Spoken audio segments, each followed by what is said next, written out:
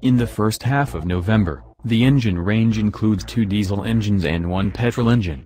The BMW X3 xDrive 20D uses the 19.0 HP four-cylinder diesel B47. Under the bonnet of the BMW X3 xDrive 30D is the tried-and-true B57 engine with 265 horsepower. The top-of-the-range sports car and the only petrol engine will be the BMW X3 M40i with 360 horsepower, which accelerates in just 4.8 seconds on country road speed. The weaker petrol engine's BMW X3 xDrive 20i with 184 horsepower and X3 xDrive 30i with 252 horsepower will be available with a slight delay in the months following the market launch. Both use the turbo four-cylinder B48.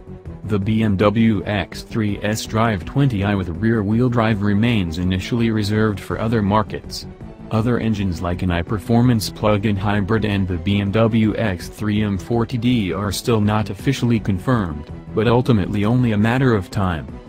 There are many engine possibilities for the most recent Air BMW X3, which includes a 2.0-liter turbo B48 four-cylinder engine and 3.0-liter B58 turbo inline-six engine that will be accessible for the new X3 M40i variant. The engine will be paired to an all-wheel push technique that will be accessible as regular for all models, together with entrance wheel push configurations. Of course, the BMW drive technique will be accessible for the forthcoming X3 crossovers.